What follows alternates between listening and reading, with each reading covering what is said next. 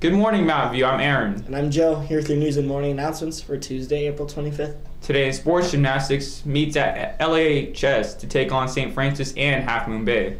Badminton will host Wilcox. Boys golf travels to Fremont at Sunnyvale Golf Course.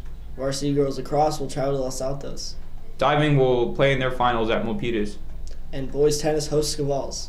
Go, Go Spartans! Today for lunch, the cafeteria is serving chicken alfredo with grilled zucchini and, a garlic roll. Here's a message from our admin. Remember to lock your bikes. If you park in the back parking lot, make sure to have a parking permit, or your car, or you'll, or you'll get a citation, or your car will get towed.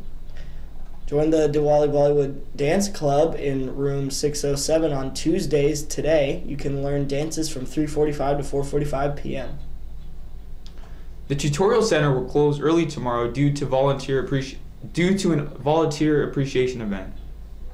Here's a message from the Iwata Exchange Program. Konnichiwa, Spartans. A month ago, 25 delegates from Japan toured our school and participated in on campus activities to broaden their perspectives and learn about American culture.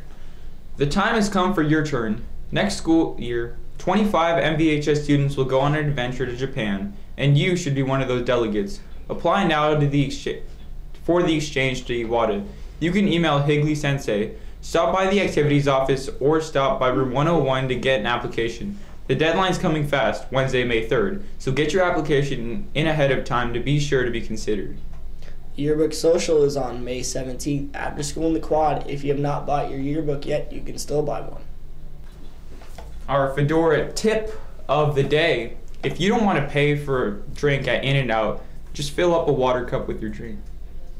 Uh, thank you for tuning in, Mountain View. That was a great news session. Have an excellent day.